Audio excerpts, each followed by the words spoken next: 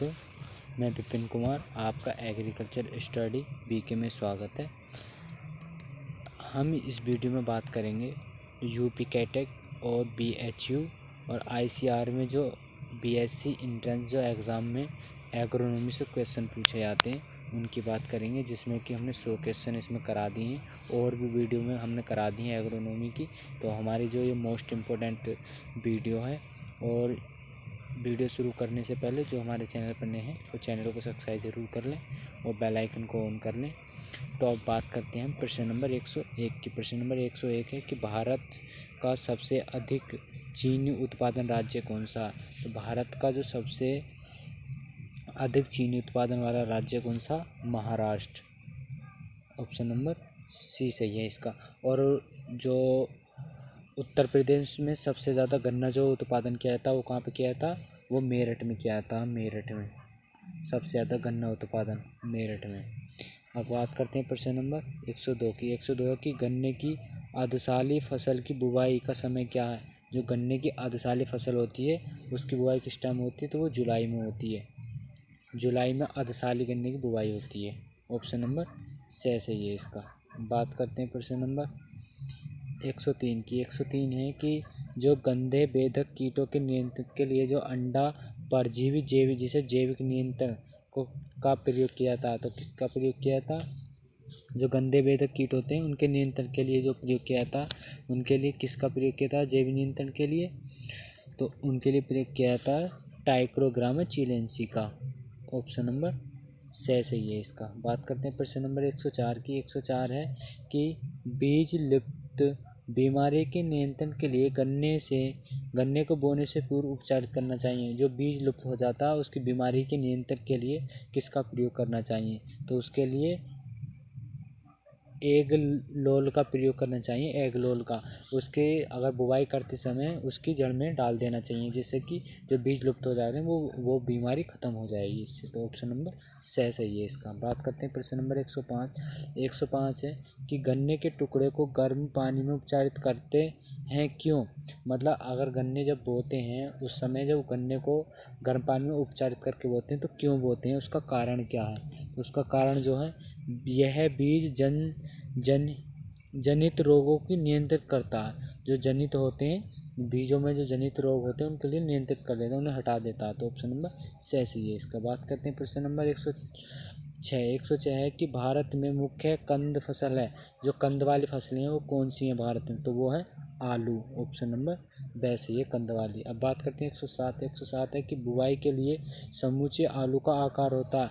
जब वो आलू की बुवाई की जाती है तो उसके जो आलू का आकार होता है, वो कितना होता है? ढाई सेंटीमीटर का होता है, जिसे ब्यास भी बोलते हैं ऑप्शन नंबर ब सही है, इसका बात करते हैं प्रश्न नंबर एक सौ आठ। एक सौ आठ है कि आलू की प्रति हेक्टेयर बीज दर कितनी होती है? तो इसमें बताने कि आलू की जो बीज दर होती है वो कितनी होती है? तो बीस से पच्चीस कुंटल प्रति हेक्टेयर होती है आलू की। वैसे ही है इसका बात करते हैं एक सौ नौ। एक सौ नौ है आलू में कार्बोहाइड्रेट स्टार्च का प्रतिशत मात्रा। जो आलू में स्टार्च होती है, उसकी जो कार्बोहाइड्रेट जैसे कार्बोहाइड्रेट बोलते हैं, उसकी कितने प्रतिशत मात्रा पाई जाती है आलू में? तो कितने पाई जाती है आलू में? तो आलू में पाई जाती है अट्ठारह प्रतिशत। स्टार्च की मात्रा पाई जाती है ऑप्शन नंबर बै सही है इसका। बात करते हैं प्रश्न नंबर एक सौ दस। एक सौ दस है कि अधिकतम आलू उत्पादन राज्य कौन सा है? जिसे हाँ सबसे ज़्यादा आलू उत्पादन किया जाता वो कौन सा राज्य है? तो सबसे ज़्यादा जो उत्पादन किया था उत्तर प्रदेश में आलू का उत्पादन किया था ऑप्शन नंबर बै और ये क्वेश्चन बहुत महत्वपूर्ण है, इनमें से ज़रूर पूछा जाएगा। इम्पोर्टेंट क्वेश्चन है बात करते हैं एक सौ ग्यारह, एक सौ ग्यारह की बीज बोने के लिए आलू का भार होता है। जो बीज बोया जाता है, उस समय आलू का भार कितना, भार जो होता है, कितना होता है? पच्चीस से तीस ग्राम होता है भार आलू का। ऑप्शन नंबर ब। बात करते हैं प्रश्न नंबर एक सौ बारह की। एक सौ बारह है कि चिप्स होना, जो चिप्स होना फ़र्स्ट है, वो प्रजाति किसकी है? मतलब कैसी है वो? तो वो आलू की है। चिप्स होना जो आलू की प्रजाति है। ऑप्शन नंबर से और पूछा जा सकता एग्ज़ाम में पूछ लिया जाता है कि चिप्स होना जो वन है वो किसकी प्रजाति तो आलू की। या पूछ लिया था कि कुफरी अलंकार किसकी प्रजाति है? तो वो भी आलू की है। तो बात करते हैं प्रश्न नंबर एक सौ तेरह। एक सौ तेरह की आलू के, आलू में जो कंद बनने की उपयुक्त तापमान होता है जो आलू में कंद बनते हैं मतलब जिस टाइम आलू पड़ते हैं तो उस टाइम उसके लिए तापमान की कितनी की आवश्यकता होती है? तो उस तापमान की होती है सत्रह से बीस सेंटीग्रेड तापमान की ऑप्शन नंबर से। सही है, इसका बात करते हैं प्रश्न नंबर एक सौ चौदह। एक सौ चौदह है कि संकर धान की खेती का सर्वाधिक प्रचलन है। कहाँ पर है सबसे ज़्यादा? संकर धान की खेती का। तो कहाँ पर है? सबसे ज़्यादा वो है चीन में। ऑप्शन नंबर से सही है, बात करते हैं एक सौ पंद्रह। एक सौ पंद्रह है एरोइंग का संबंध है। जो एरोइंग होती है एरोइंग इस एरोइंग का संबंध किससे है? तो एरोइंग का संबंध है गन्ने गन्ने से ऑप्शन नंबर सह से है इसका बात करते हैं प्रश्न नंबर एक सौ सोलह। एक सौ सोलह है कि मिट्टी चढ़ाना संबंधित है। मिट्टी चढ़ाई जाती किस पे चढ़ाई जाती गेहूँ पे भी नहीं चढ़ाई जाती। धान, चना पे भी नहीं नहीं गाजर पे चढ़ाई जाती। और तो किस पे चढ़ाई जाती आलू पे। ऑप्शन नंबर से सही है इसका बात करते हैं प्रश्न नंबर सत्रह सत्रह है कि इम्पोर्टेंट क्वेश्चन है कि आलू का वैज्ञानिक नाम क्या है? तो आलू का जो वैज्ञानिक नाम है, वो क्या है? तो आलू का वैज्ञानिक नाम है सोलेनम ट्यूबरेसम। ऑप्शन नंबर से ये इसका। बात करते हैं प्रश्न नंबर अट्ठारह एक सौ अट्ठारह है कि सोलेनाइजेशन फ़सल से संबंधित है। जो सोलेनाइजेशन है, वो किस फ़सल से संबंधित है? तो वो किस फ़सल से संबंधित है? वह आलू की फ़सल से ऑप्शन नंबर से सही है। बात करते हैं प्रश्न नंबर एक सौ उन्नीस। एक सौ उन्नीस है आलू में सिंचाई की सबसे क्रांतिकारी अवस्था क्या है? जो आलू में जो सिंचाई की जाती है तो क्रांतिकारी अवस्था कौन सी रहती है? उसमें तो कंद बनते समय सबसे क्रांतिकारिक अवस्था रहती है। ऑप्शन नंबर बै सही है। इसका बात करते हैं प्रश्न नंबर एक सौ बीस। एक सौ बीस है कि जो भारत में कितने कृषि जलवायु क्षेत्र हैं। इम्पोर्टेंट क्वेश्चन है। पूछा जा सकता है कि भारत में जो, भारत में कितने, भारत में कितने कृषि जलवायु क्षेत्र हैं? भारत में कितने? तो पंद्रह कृषि जलवायु क्षेत्र हैं। ऑप्शन नंबर बै बात करते हैं एक सौ इक्कीस। एक सौ इक्कीस तम्बाकू का ज्वनशील गुण प्रभावी होता। जो तंबाकू का ज्वलनशील गुण होता, वो प्रभावी होता। तो किससे प्रभावी होता? है तो वो होता है क्लोरीन से प्रभावित तो ऑप्शन नंबर बै सही है इसका बात करते हैं प्रश्न नंबर एक सौ बाईस, एक सौ बाईस तम, बाईस तम्बाकू जो तंबाकू है वो किस कुल से संबंधित है? तंबाकू जो है किस कुल से संबंधित है? तंबाकू है सोलनेसी कुल से। ऑप्शन नंबर बे सही है इसका। बात करते हैं प्रश्न नंबर एक सौ तेईस, एक सौ तेईस है कि डिस्करिंग किस फ़सल से संबंधित है? जो डिस्करिंग जो किस फ़सल से संबंधित है वो तंबाकू से संबंधित है। ऑप्शन नंबर ब और वीडियो को अं, अंत तक ज़रूर देखें। वीडियो को बीच में छोड़ के ना भागें। और इम्पोर्टेंट क्वेश्चनों क्वेश्चन है ये। और इनमें से क्वेश्चन ज़रूर पूछा जाएगा। तो वीडियो को अंत तक ज़रूर देखें। और वही जिसने वीडियो को लाइक नहीं किया, वो वीडियो को लाइक ज़रूर करते पहले क्योंकि आप भूल जाते हैं? तो बात करते हैं एक सौ चौंतीस, एक सौ चौबीस की सॉरी एक सौ चौबीस है कि शीर्ष कर्तन किस फ़सल से संबंधित है? तो शीर्ष कर्तन किस फ़सल से संबंध, संबंधित है? वो तंबाकू से संबंधित है ऑप्शन नंबर ब बात करते हैं प्रश्न नंबर एक सौ पच्चीस, एक सौ पच्चीस है जो प्राइमिंग किस फ़सल से संबंधित है?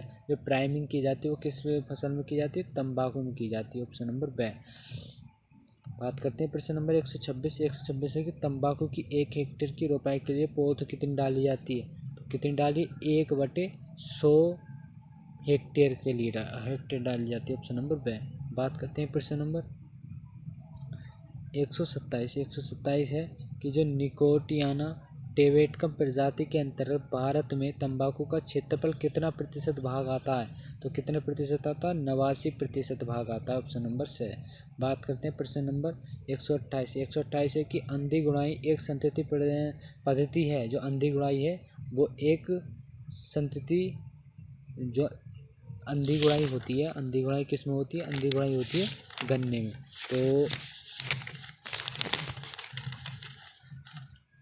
अंधी गुड़ाई किसमें होती है? गन्ने में। तो गन्ने में जो कपास के लिए, खरबूज के लिए, तंबाकू के लिए या गन्ना के लिए तो तो ये गन्ने में होती है अंधी गुड़ाई ऑप्शन नंबर छः सही है इसका बात करते हैं प्रश्न नंबर एक सौ उनतीस। एक सौ उनतीस है प्रश्न नंबर कि बरसीन की फ़सल में राइबोजियम बैक्टीरिया की जाति पाई जाती है। तो किसमें पाई जाती है? बरसीन में जो राइबोजियम राइबोजियम बैक्टीरिया पाया जाता है। वो किसमें पाया जाता है? वो राइबोजियम ट्राइफोलाई में पाया जाता है।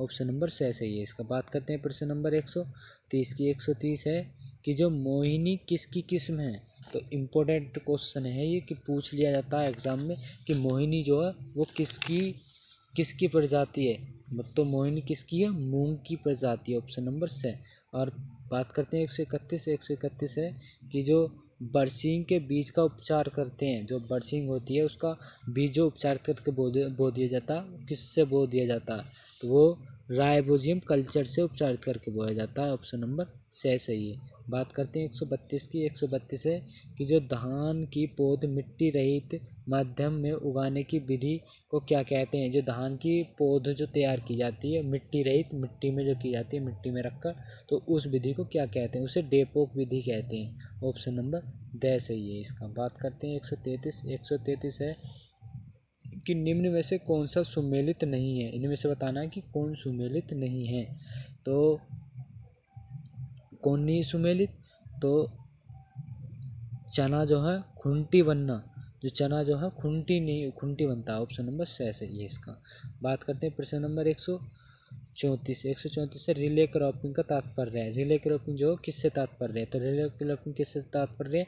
वो एक भूमि पर एक वर्ष में चार फ़सल इस प्रकार उगाए उगाना कि बाद में बोई जाने वाली फ़सल, उसके पहले बोई गई फ़सलों के कटने से पूर्व बो दी जाती है, जो फ़सल की बुवाई की जाती है भूमि पे। एक ही एक ही वर्ष में चार फ़सलों को उगाएँगे और उनमें से जो बाद में बोई जाएगी, उसके लिए पहले बोई गई है और फिर उसे काटने से पूर्व बो दी जाती है एक फ़सल। तो चार फ़सल बो दी जाती है। ऑप्शन नंबर छः से ये इसका बात करते हैं। प्रश्न नंबर एक सौ पैंतीस एक सौ पैंतीस है कि मूंग का वनस्पतिक नाम क्या होता है? तो एग्ज़ाम में पूछा जाएगा ज़रूर। या तो फलों के पूछ ले या दालों के पूछ ले या अनाज की फ़सलों, अनाजों की पूछ ले, किसी का भी वैज्ञानिक नाम पूछ सकता है। तो कि मूंग का क्या होता? है बिगनस रेडिएटा, ऑप्शन नंबर ब सही है इसका बात करते हैं, एक सौ छत्तीस एक सौ छत्तीस, भारत में प्रथम कृषि विश्वविद्यालय की स्थापना को हुई हुई? कब हुई तो? एग्ज़ाम पूछा जाता है, एग्ज़ाम की दृष्टि से महत्वपूर्ण क्वेश्चन है, स्टार लगाकर लिख लें इसे, कि जो भारत में प्रथम कृषि विश्वविद्यालय की स्थापना किस वर्ष हुई थी? तो 1960 में हुई थी। ऑप्शन नंबर ब सही है इसका। बात करते हैं एक सौ सैंतीस की। एक सौ सैंतीस है कि भारतीय कृषि अनुसंधान परिषद कहाँ स्थित है? तो भारतीय कृषि जो अनुसंधान संस्थान है, वो कहाँ पर स्थित है? वो है दिल्ली में स्थित है। ऑप्शन नंबर छः सही है इसका। और अनुसंधानों से संबंधित हमने एक वीडियो हमारे चैनल पर ही अपलोड है, वो आपको प्ले लिस्ट में मिल जाएगी उसकी, आप वहाँ से देख सकते हैं।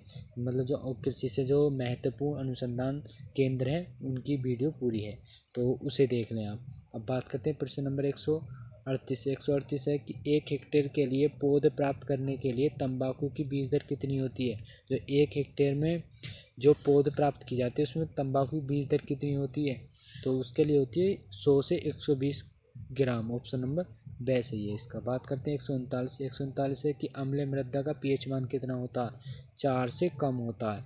चार से कम होता है, अम्ल मृदा का पीएच मान। और क्षारीय मृदा का पीएच मान क्या होता है? सात से अधिक होता है। और उदासीन जो होती है, वो कितने पर होती है? वो पूरे सात पर होती है। ऑप्शन नंबर इसमें द सही है। इसका बात करते हैं प्रश्न नंबर। एक सौ चालीस। एक सौ चालीस है कि सर्वाधिक सर्वाधिक संरंध्रता पाई जाती है। संरंध्रता जो पाई जाती है, किसमें पाई जाती है सबसे ज़्यादा? तो वो किले में माई, पाई जाती है। किले किसे कहते हैं? किले जो है, काली मिट्टी को किले कहते हैं। ऑप्शन नंबर सह सही है इसका। बात करते हैं प्रश्न नंबर एक सौ इकतालीस। एक सौ इकतालीस की मृदा में पाए जाने वाले मूल खनिज क्या हैं?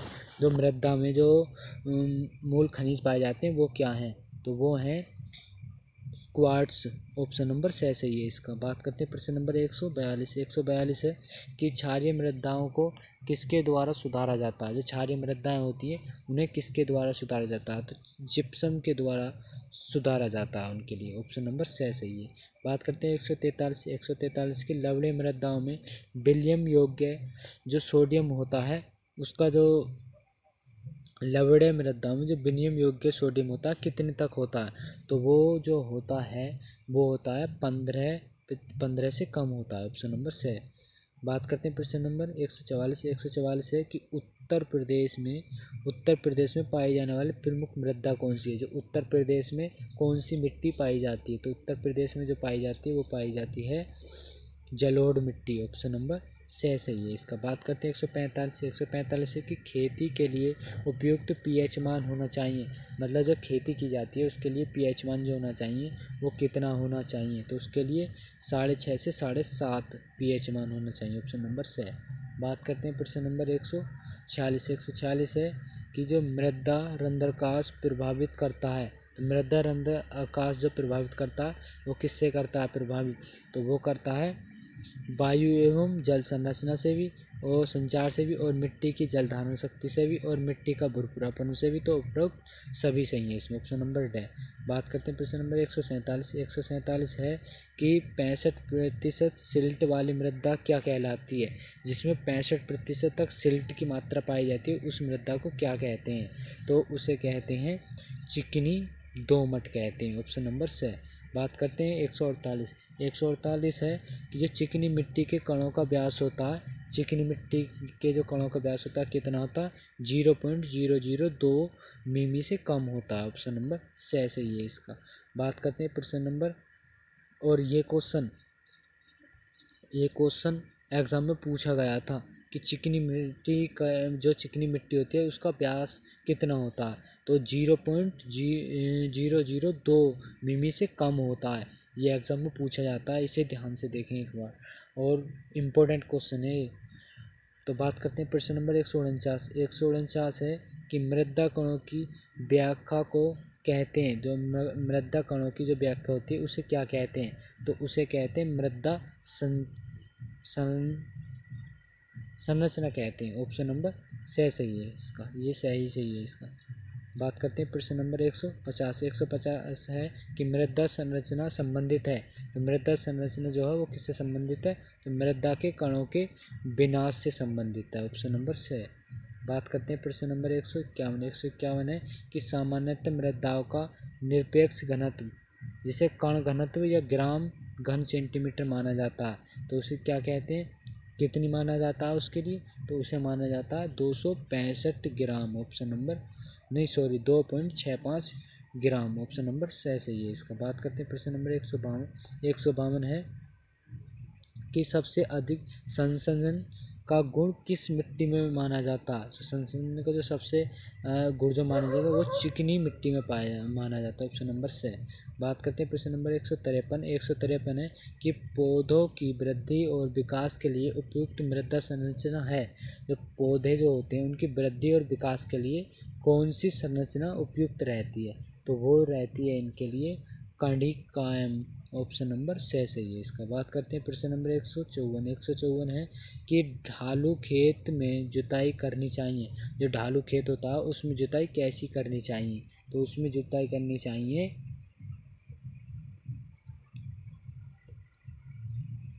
ढाल के विपरीत दिशा में करनी चाहिए। ऑप्शन नंबर ब। बात करते हैं प्रश्न नंबर एक सौ पचपन। एक सौ पचपन है कि समोच सॉरी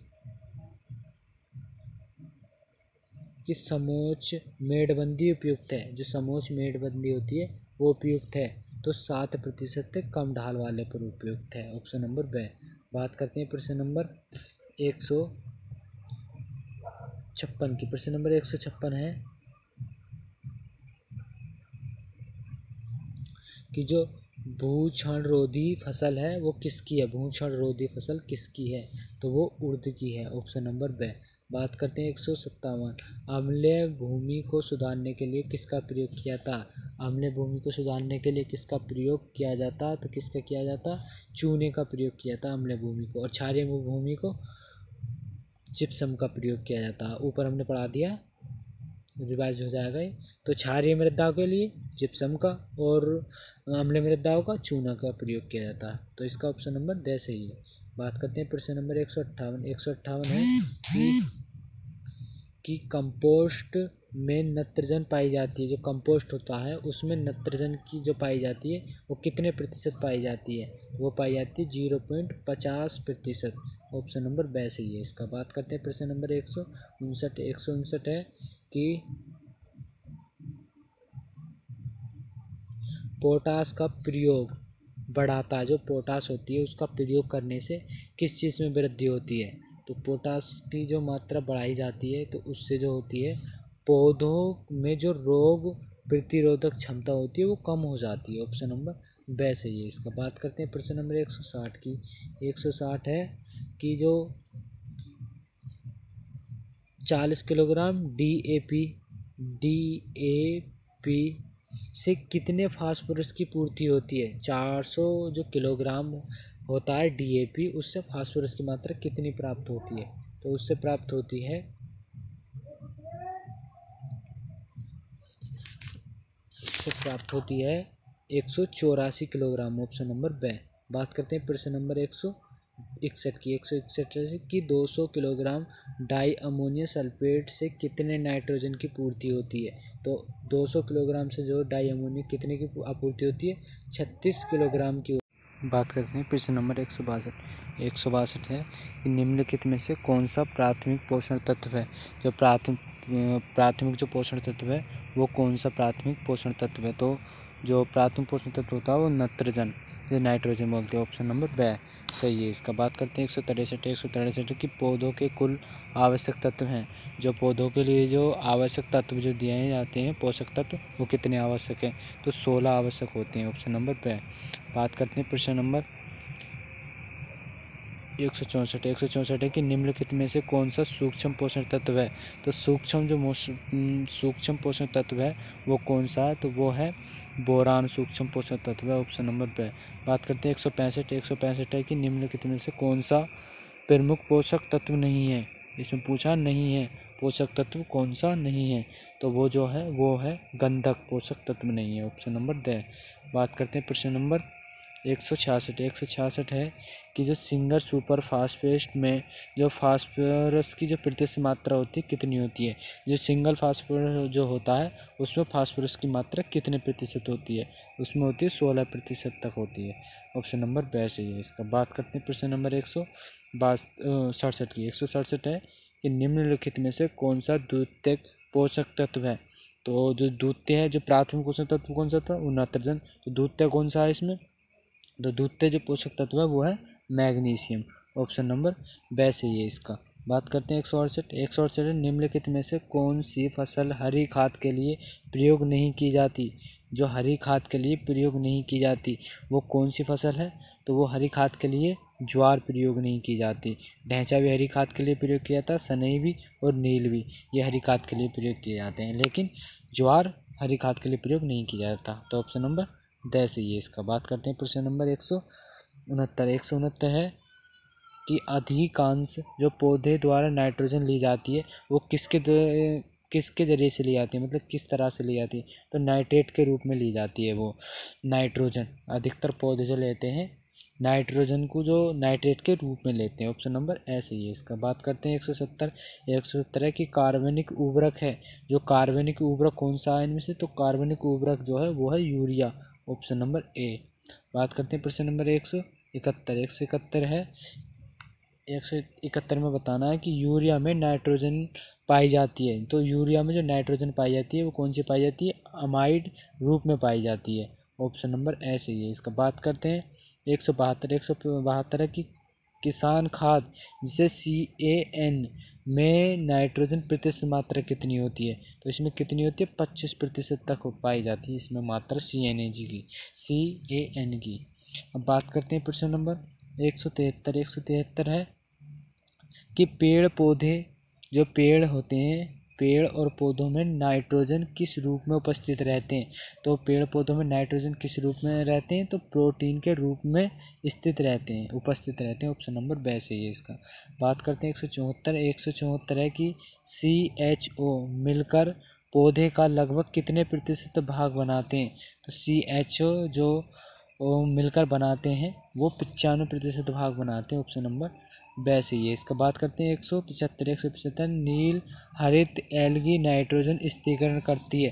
जो नील हरित एलगी होती है, वो स्थिरीकरण किसे करती है? वो धान को स्थिरीकरण करती है। क्योंकि धान में जो नीचे की परत होती है, उसमें पानी भरते ही रहते हैं तो उसमें नीचे की परत में हरे हरे शवाल से जम जाते हैं, जिन्हें नील हरित शवाल भी कहते हैं। तो ऑप्शन नंबर वैसे ही है इसका। बात करते हैं प्रश्न नंबर एक सौ एक सौ छिहत्तर की। एक सौ छिहत्तर है कि पौधों की जड़ों के विकास के लिए आवश्यक है। जो पौधों की जड़ों के लिए विकास के लिए क्या आवश्यक है? तो पौधों की जड़ों के लिए जो विकास के लिए चाहिए, वो चाहिए फास्फोरस की मात्रा चाहिए। ऑप्शन नंबर ब सही है। इसका बात करते हैं प्रश्न नंबर एक सौ सतहत्तर। एक सौ सतहत्तर है कि सबसे अधिक नाइट्रोजन प्रति हेक्टेयर संस्थापित जो यौगीकृत करने की क्षमता है, वो किसमें है? जो सबसे ज़्यादा नाइट्रोजन प्रति हेक्टेयर स्थापित करती है, वो किसमें सबसे ज़्यादा पाई जाती है? तो वो पाई जाती है सेजी में। सेजी में पाई जाती है नाइट्रोजन प्रति हेक्टेयर स्थापित करने की। तो ऑप्शन नंबर बैसी है, इसका बात करते हैं। प्रश्न नंबर एक सौ अठहत्तर, एक सौ अठहत्तर है कि सामान्यतः मृदा में नाइट्रोजन जो प्रतिशत होती है, वो कितने प्रतिशत होती है? मृदा में नाइट्रोजन मतलब मृदा में जो नाइट्रोजन की उपस्थिति होती है, वो कितने प्रतिशत होती है? ज़ीरो पॉइंट ज़ीरो पाँच प्रतिशत तक। ऑप्शन नंबर बै सही है इसका बात करते हैं। प्रश्न नंबर एक सौ उन्यासी, एक सौ उन्यासी है कि धान के पौधे नत्रजन किस रूप में लेना पसंद करते हैं? जो धान के पौधे होते हैं, ये धान की फ़सल होती है, वो किस रूप में नाइट्रोजन को लेना पसंद करते हैं? तो किस रूप में? तो वो लेना पसंद करते हैं अमोनिकल के रूप में, एन एस थ्री नहीं sorry N H four plus के रूप में, ऋणात्मक के रूप में। बात करते हैं प्रश्न नंबर एक सौ अस्सी, एक सौ अस्सी कि भारतीय मृदा में कार्बनिक पदार्थ की प्रतिशत मात्रा कितनी होती है? जो भारतीय मृदा होती है, उसमें कार्बनिक पदार्थ में प्रतिशत मात्रा कितनी होती है? तो उसमें होती है ज़ीरो पॉइंट छः प्रतिशत ऑप्शन नंबर वैसे ही है इसका। बात करते हैं प्रश्न नंबर एक सौ इक्यासी, एक सौ इक्यासी है प्रश्न नंबर एक, सौ इक्यासी कि अमोनियम सल्फेट का प्रयोग करने पर प्रभाव होता है? तो अमोनियम सल्फेट का जो प्रयोग करते हैं तो उस पर जो प्रभाव पड़ता है, किसका पड़ता है? अम्ले अम्ले का प्रभाव पड़ता है। अम्लीय वृद्धि अम्ले मिट्टी होने लग जाती है उससे।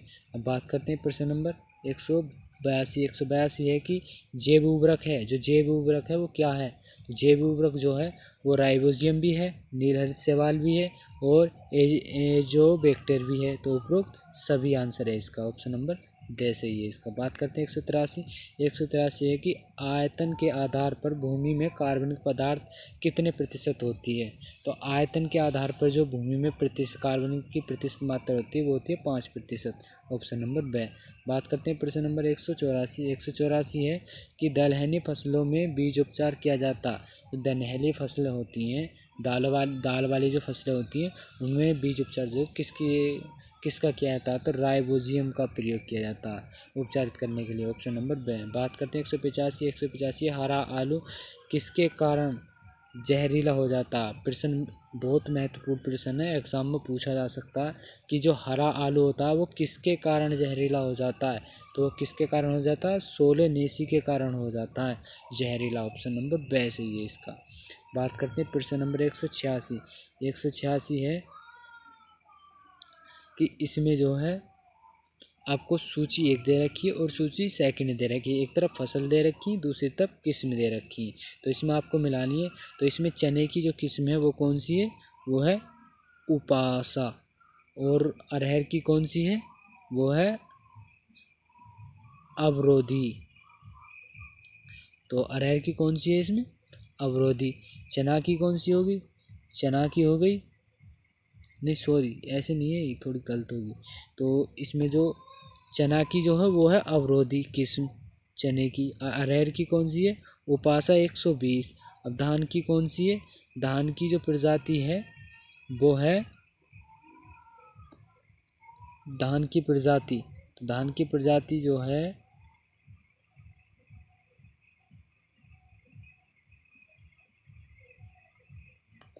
धान की प्रजाति है रत्ना और जौ की प्रजाति है गीतांजलि। तो ऑप्शन नंबर इसमें कौन सा? देख लो उसे। तो इसका जो ऑप्शन नंबर है वो है ब। तीसरे का तीसरा मतलब इस इधर वो खंड दे रखे और इधर ऑप्शन दे रखे। तो ऑप्शन नंबर ब सही है इसका बात करते हैं प्रश्न नंबर एक सौ सतासी। एक सौ सतासी है कि एग्रोजोल कल्चर का प्रयोग किस फ़सल में करते हैं? जो एग्रोजल कल्चर होता है उसका प्रयोग किस फ़सल में किया था? तो उपरोक्त सभी में किया था, मक्का में भी, ज्वार में भी और धान में भी। इन सभी फ़सलों में प्रयोग किया था एजो कल्चर का बात करते हैं प्रश्न नंबर एक सौ अट्ठासी। एक सौ अट्ठासी है कि राइबोजियम कल्चर का प्रयोग करना किस फ़सल में लाभदायक होता? है तो किस फ़सल में लाभदायक होता? तो दलहनी फ़सलों में राइबोजियम राइबोजियम कल्चर का प्रयोग करना सर्वाधिक अच्छा रहता है। ऑप्शन नंबर ब सही है इसका। बात करते हैं प्रश्न नंबर एक सौ नवासी। एक सौ नवासी है कि अमेरिकन सोसाइटी ऑफ़ एग्रोनॉमी की स्थापना महत्वपूर्ण क्वेश्चन है कि एग्रोनॉमी जो अमेरिकन सोसाइटी ऑफ़ एग्रोनॉमी इसकी स्थापना कब हुई थी? तो इसकी स्थापना हुई थी 1908 ईस्वी में, ऑप्शन नंबर छः सही है इसका बात करते हैं, एक सौ नब्बे। एक सौ नब्बे है कि खरीफ की फ़सल पक कर तैयार हो जाती है। तो खरीफ की फ़सल जो, किन, कौन से महीने में पक कर तैयार होते हैं? तो अक्टूबर नवंबर में तैयार हो जाती है। ये बात करते हैं प्रश्न नंबर एक सौ इक्यानवे। एक सौ इक्यानवे है कि जड़ पर ग्रंथियाँ किस फ़सल में पाई जाती हैं? जो जड़ में जो ग्रंथियाँ पाई जाती हैं, वो किस फ़सल में पाई जाती हैं? तो वो पाई जाती हैं उर्दू में भी पाई जाती है मूंग में भी, अरहर में भी ऑप्शन नंबर द सही है। इसका उपयोग सभी फ़सलों में पाई जाती है। तो एक सौ बयानवे से बात करते हैं। एक सौ बयानवे, ऊसर भूमियों में उगने के लिए संतति फ़सल कौन सी है? जो ऊसर भूमि होती है, उसमें उगने के लिए संतति फ़सल होती है, वो कौन सी फ़सल होती है? तो वो फ़सल होती है, जो भी होती है, कपास भी और धान भी तो ऑप्शन नंबर ड सही है इसका। बात करते हैं प्रश्न नंबर एक सौ तिरानवे एक सौ तिरानवे की रिज का, जिसे लहसुन, ये फ़सल है, कौन सी, कितने वर्षीय है? मतलब एक वर्षीय, दो वर्षीय या बहुवर्षीय उपरोक्त सभी? तो रिज का जो है ये है बहुवर्षीय फ़सल है। ऑप्शन नंबर छः सही है इसका। बात करते हैं प्रश्न नंबर एक सौ चौरानवे। एक सौ चौरानवे है कि घास कुल पोएसी कुल में है, जो घास कुल आता है पोएसी उसमें कौन कौन सी फ़सलें हैं? तो एक सौ चौरानवे जो है, वो धान भी आती है पोएसी में, गेहूँ भी आती है, गन्ना भी आता तो उपरोक्त सभी हैं इसमें ऑप्शन नंबर दे। बात करते हैं एक सौ पचानवे, एक सौ पचानवे कि मक्का, आलू, गन्ना, पेड़ी, लोबिया, फ़सल चक्र है, इनका क्या वर्ष का फ़सल चक्र है? तो इनका फ़सल चक्र जो है, वो है तीन वर्षीय फ़सल चक्र है इनका ऑप्शन नंबर सह सही है इसका। तो बात करते हैं प्रश्न नंबर एक सौ छियानवे। एक सौ छियानवे है कि पूसा विशेष एच डी दो अट्ठाईस इक्यावन प्रजाति किसकी है? तो ये प्रजाति जो है वो है गेहूँ की ऑप्शन नंबर से बात करते हैं एक सौ सत्तानवे, एक सौ सत्तानवे है कि बीज वर्धन हेतु गेहूँ के लिए विस्थापन दूरी कितनी रखे, रखते हैं? जो गेहूँ वर्धन जो गेहूँ वर्धन होता है, उसमें बीज वर्धन हेतु गेहूँ के लिए जो विस्थापन दूरी रखी जाती है, वो रखी जाती है इसके लिए तीन मीटर की दूरी रखी जाती है, ऑप्शन नंबर ए। बात करते हैं प्रश्न नंबर एक सौ अट्ठानवे। एक सौ अट्ठानवे है कि थोड़ा जूम कर लेते हैं।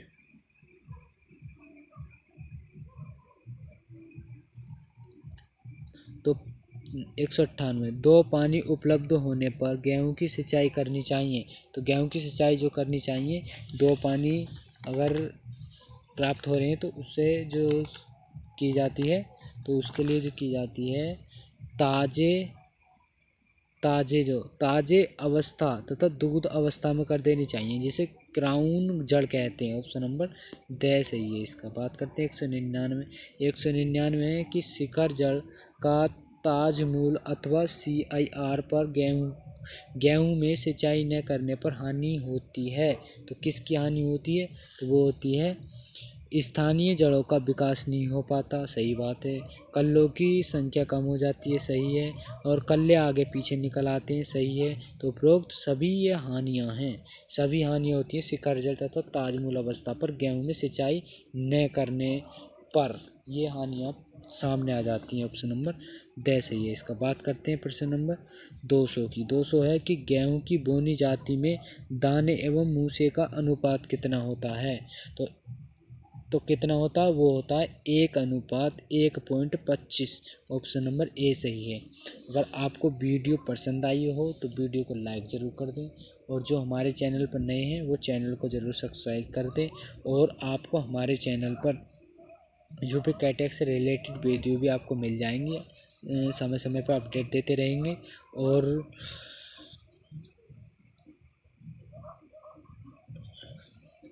मिलते हैं फिर अगली वीडियो में, तब तक के लिए बाय तो जय जवान, जय किसान.